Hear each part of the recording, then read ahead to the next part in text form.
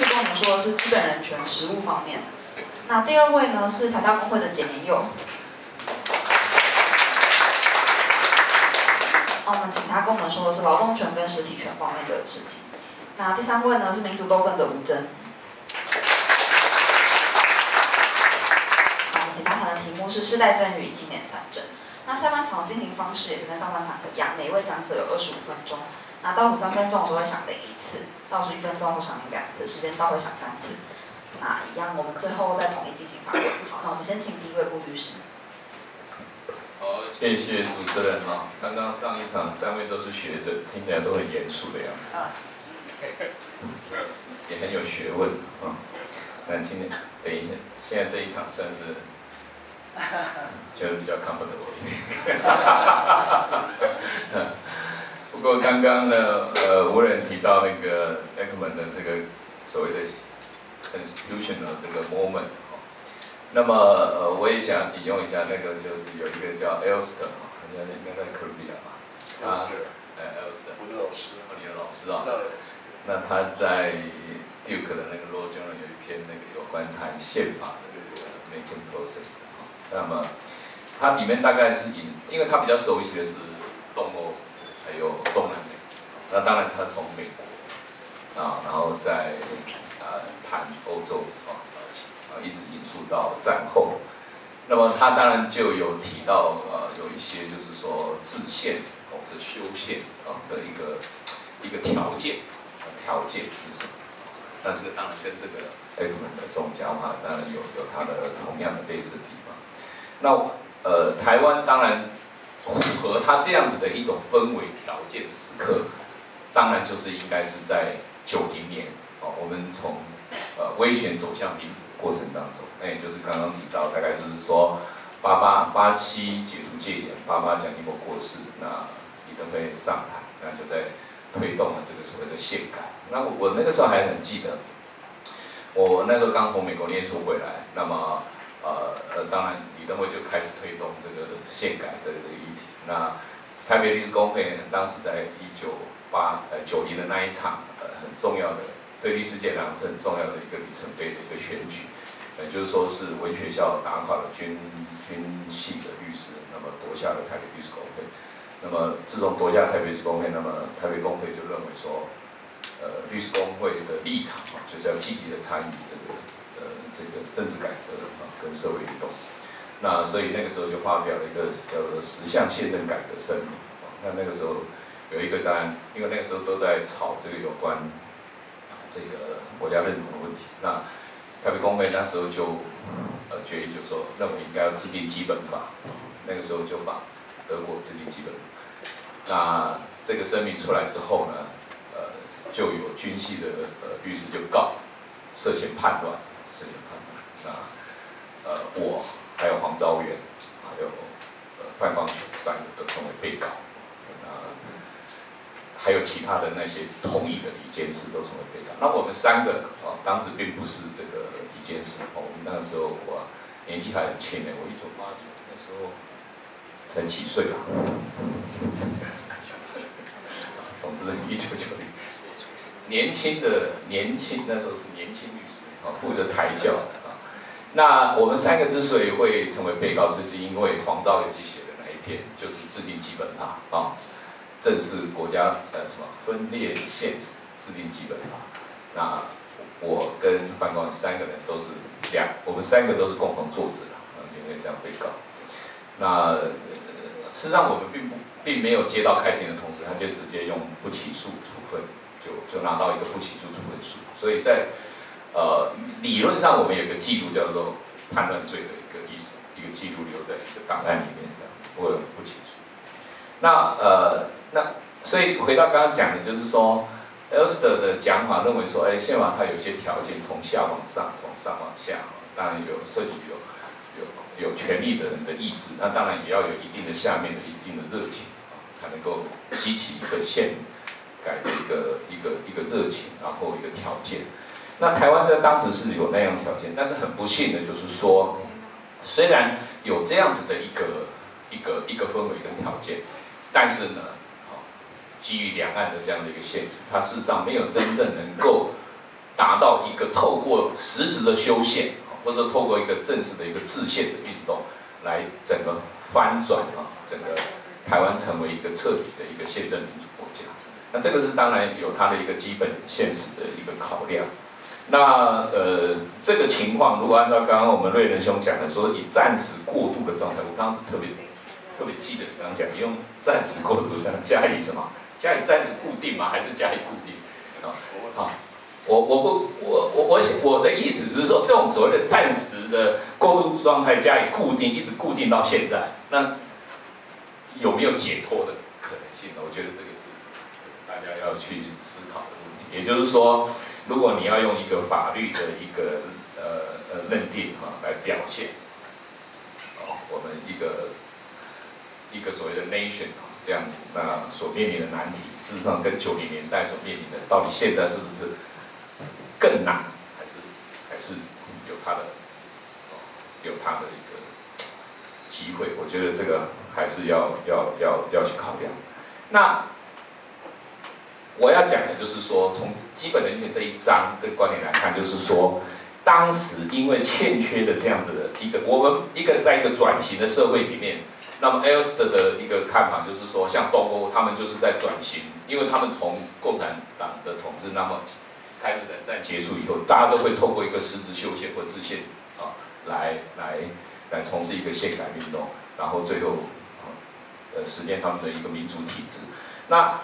台湾呃呃，依照本来依照这应该也应该享有这样子的一个结果，但是因为呃从特别是两岸的因素，然后造成没有办法达到，没有办法达到以后，就用这个宪法增修条文去做一个一个一个一个一个像是一个贴布的方式来去做一些贴，好，那其中特别在这一个呃基本人权的这一章就完全都没有被贴到，比如说。他完全没有去改变基本人权的这一章的内容啊。那另外特别重要，当然就是在司法这一块，因为司法的这一块是呃运用这个基本权利清单的上面所有的内涵的一个一个解释啊。但是因为我们采取的并不是一个彻底的一个转型啊，透过一个呃自宪或者实质修宪啊，然后来达到一个啊一个彻底的转型。特别在司法这一章，也从来在九零年代的那一次的宪改运动里面没有被照料到，没有被照料到。所以我们的司法呢，在威权时期的法官，呃，转到了这个民主呃九零年代以后，他还是法官，没有任何一个法官因为这样而去职，也没有任何一个法官呢，类似像东西德一样，在合并了之后，东德的法官呢全部集体退位，然后再接由一个委员会哈，然后来。呃，重新遴选具有这个人权意识，哦，啊，这的的法官，没有透过这样子的一个彻底的一个转型，所以在司法的这一块呢，我们透过这样所谓的呃叫临近革命也好，叫什么也好，它完全的不动如山。那么透过这样的师徒相承，还是一路进入到了现在。所以对于呃在基本权利的这一块。唯一能够寄望的就是大法官，唯一能够寄望的。所以刚刚张文珍教授就会引述了很多大法官的解释在这个上面，啊，然后就说阿大，那我觉得，呃，大法官会的设置啊，这个从威权走向民主，它扮演很重要的一个角色，也就是说，它开启了一个窗口，一个窗口，让我们有一个。有一个透过这样大法官，特别在这个转型的过程当中，他去做了一些比较进步性的解释，让我们得到了一个舒缓。不然的话，司法这一块会更惨，会更惨，因为他会彻底彻底的成为一滩死水，那么完全没有动。那法官还是那样的法官，他在威权时期当法官，他到了解严之后，他还是法官，他他的观念思想他完全没有进步。那么司法这一块会感觉非常的相对于社会会相对的保守，那完全不能够得到信赖。这样子的遗憾一直到今天，好，一直到今天。那当然有一个大法官，所以我今天讲说中国哈应该要让也要有一个这样的窗口哈，这样应该两个窗口，一个有限度的地方政治选举，然后另外一个就是开启一个视线的一个机制。我，这个这个是他们的问题哈，我这两个没有的话，我觉得中国很难形成一个一个一个所谓的和平转移的过程。好，那只有大法官这个，那够不够呢？当然是不够嘛，因为不够，因为。大法官的视线的条件是很严格的，啊，很严格。你一定，你如果人民哦，就基本权的受侵害的这个部分，要等到整个三审判决确定了以后，哦，然后你再去找出说啊，这个判决所适用的法律，哦，它有违反宪法的地方，然后你才可以去申请解释。然后大法官要不要受理，那完全看他，他不爽他就不受理，哦，那他也不护理由，那他觉得这比较重要，他就把你受理。受理了之后呢，他过了好几年后才会做出一个解释。那这个解释做完了之后呢，那在如果是你这个案，那你算是给你一点回馈啊，那你可以根据这个申请再审，然后再回到普通法院来可以再做。而且像呃许志强这个案子啊，大概就是如此。但是基本上都非常非常的困难，非常困难。那人民，人民是每如果你你有案子，你你是要到法院去每天碰到像这样子的一个一个过程，就是说法官他就是就是坐在上面，那么他他并没有没有很。很快的改变，那这个改变，你说法官的这种人权的素养啊，人权的意识啊，或者是说对于基本权的一个理解，是不是有逐渐的比较进步？当然是有哦，因为呢，透过我们原决案啊，让我们的努力，对不对？总是有一批新的人呢去当法官嘛，对不对？那不可能，那这个老的法官逐渐会凋零，逐渐会会会过世，哦，会会 pass away 哦。但是这个过程很缓慢。那而且呢，而且这个人事的制度啊，在台湾来讲是非常被诟病的。就是说，他是很年轻的律呃年轻的学生啊，比如说你毕业了，你才你是法律系吗？哦，对，好，他你现在几岁？二十三。啊，二十三。对我二十五开始当律师哈，我就很庆幸我没有没有去当法官。那如果以他这个年龄，那么他毕业了之后，哦，那当兵只要一年。那他考上了，他两年训练以后，他就可以去当法官了。那他进了那一个司法新村里面呢，就进入了这个这个比白色巨塔还要恐怖的一个一个地方。那他进去以后，师徒相承，同台压力哦，很多。那那严吉安 讲的话，他就忘了啊。那这个张文生讲的，然后他他也记不太得了。然后他逐渐逐渐，因为这个审判的这个制度的这个没有没有采取比较进步性，就说没有彻底的翻转。比如彻底翻转，就是要排除法官的臆断，排除法官的偏见，哦，要证据不可以一开始就让法官看到，那法官一看到觉得面前都是坏人，然后呢，他把基本权利这一章呢全部忘光光了，哦，那。他甚至有很多法官，他一开始面临的挣扎就是说，哎，人家申请羁押，他不要押了。那有有法官有时候比较有进步意识，一开始进去说，啊，这不要随便押，把他放了。放了以后，没想到他出去有十件有一件，他又很不幸又去犯了。那社会舆论指的，他又越来越保守啊。就说他有他的一个环境，他受到他这个这个，他他受到这样影响，所以因为很年纪很轻。虽然一个一个一个白布哦，那么那么虽然在学校受到一些熏陶，可是进去也就是很容易受到污染哦。那年纪又很轻哦，还没有尝到世界上很多事情，就进去关进去了，然后就要求你要清心寡欲，跟社会不要过多做，不要跟社会过做过多不当的接触，跟同学最好当律师的都要断绝来往，那么等等像这样。那就会受到谁的影响？就受到上一辈的影响。那上一辈的人就是威权时代的法官。那这样的一种师徒传承的种制度，使得我们这样的一个司法的这个环境，就进展的跟社会在九零年代之后的这样子的一个民主化的过程所相对的一个进步，就落差很远。那当然有少数异类的法官，哦，他们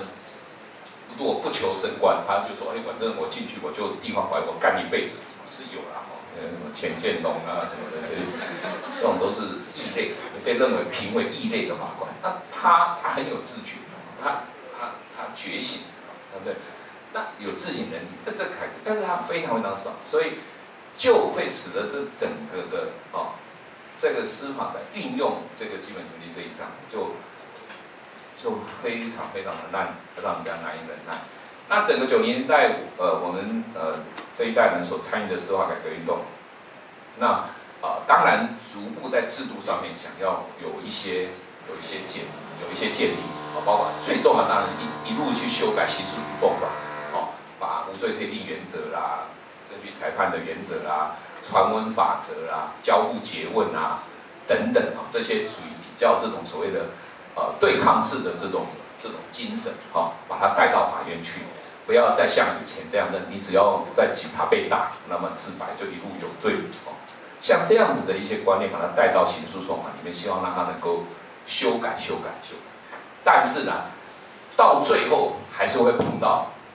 这个宪法上面的这个问题啊，也就是说，大家都在讨论说司法院是什么东西？司法院既不是最高法院，也不是，所以大家知道司法院在干嘛？养老。养老。那 对于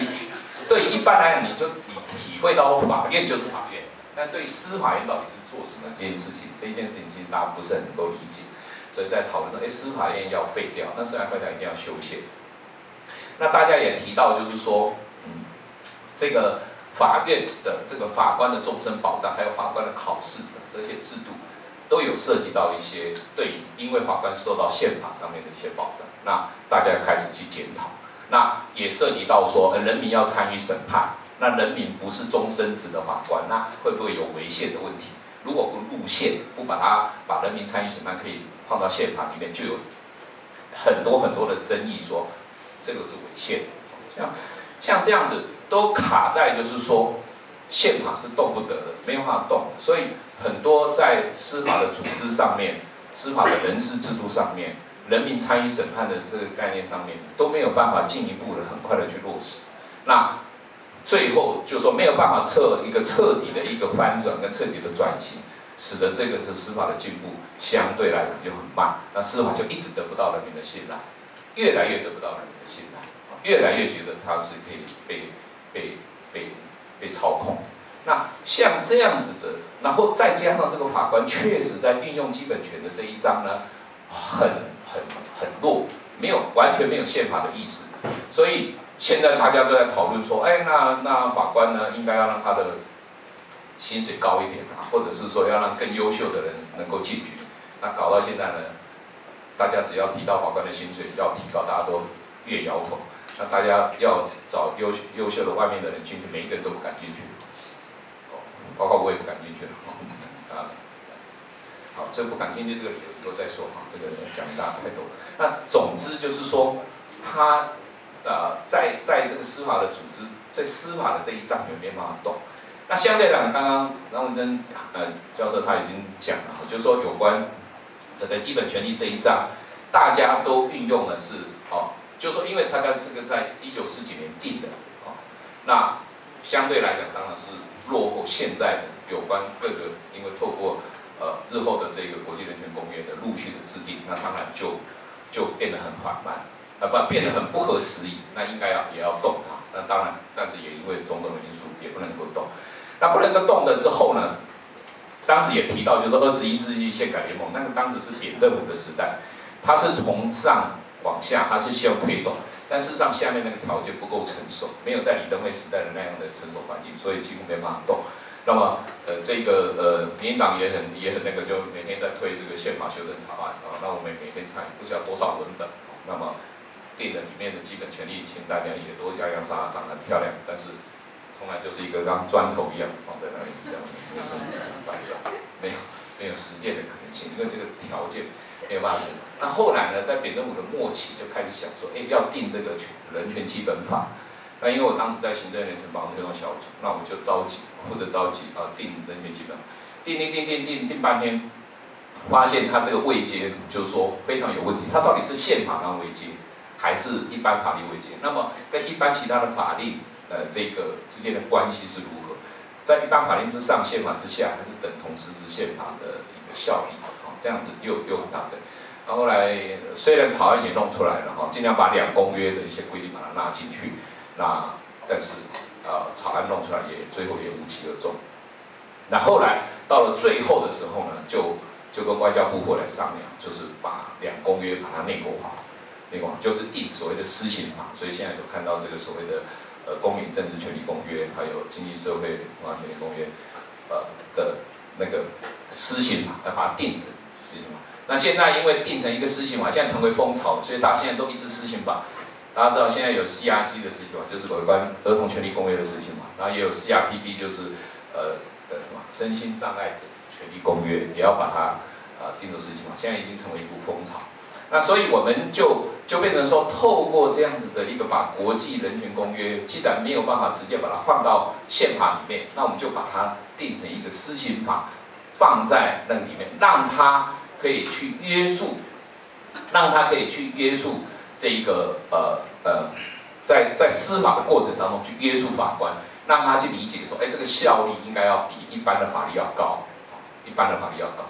但是从实物上看起来，到现在为止还是还是寸步难行，还是寸步难行。那么大概都是要等到最高法院难得的去引用的那样子的一个呃的公约里面的一些概念，就是说，因为这个公约都在联合国有一些委员会做一些有所谓的一般性意见，那这些一般意见会做一个对这个公约的内涵做一些诠释，哦，那你可以。可是，一般的法官完全没有办法去理解，啊，那当然都要到最高法，或者是再打到大法，所以这个困境呢，依旧依旧是存在，啊，依旧是存在。那所以推动宪改的一个最大利益，就是在这个整个的过程当中，如果这个条件、这个氛围成熟，法官也会充分的去感受到这样子的一个氛围、这样的条件的时候，那么他们对于宪法。所谓基本权的运用，就会比较的呃有这个意识啊，因为过去以来宪法这个东西不在他们的脑子里面。那我想透过整个的一个过程，那会让他们这样的一个意识会逐渐逐渐的一个增强。那么在宪法的这个运用上面，重他们就不会一意的把它推到大法官，他们都认为他们本身也会有适用的义务。或者至少他们认为有任何疑虑的时候，他们就比较更勇敢的去停止审判，申请大法官解释，那么甚至呢来拒绝适用他们认为不合宪法的这些法律，那更不要说是命令或者是一般性的一些行政规则等等，就会更有这样子。那当然哦，因为刚刚所讲的这些法官师徒相证，还是这个这个进展还是有有缓慢，但是透过社会这样子的一个运动。那么让他，他们也是社会的一份子，他们也是上过袁家老师的课出去的，那他们呢？Suppose 如果成为一种风潮，他们就同才的压力就会比较小，他们就成为异类的可能性就会比较低，那么他们就会更敢于啊运用这个宪法在他们的判决里面。那所以这也可能是说，就我啊认为从实务上认为所看到的就是说。推这个所谓的宪改运动，在司法啊这个运用的层次上面，在基本权如果说彻底的再做一个 review，做一个修改的一个过程当中，所塑塑所塑形塑的这个人民的宪法意识，那当然同时也形塑了法官、检察官们的宪法意识，那当然也有律师的能够知道如何运用这样子的一个过程当中，它就具有很带有一个很深刻的塑造一个共同的所谓的想象共同体。的一个行作，这样的一个过程，让我们的司法能够有在往前往踏大步的往前面再走的这样子的一个可能性。那这个啊，来对我们来讲也是基于很大的一个寄望。好，那我今天就先讲到这里。好，谢谢。谢谢顾律师。那我们接下来请简宁用。